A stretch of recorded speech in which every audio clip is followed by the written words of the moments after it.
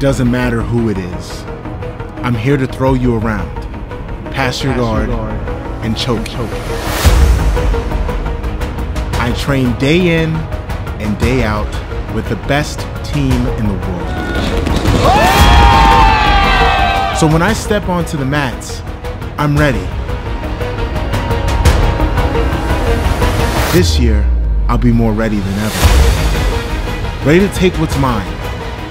Ready to show the world exactly who I am. I've worked too hard to turn back now. I've worked too hard for anything less than victory.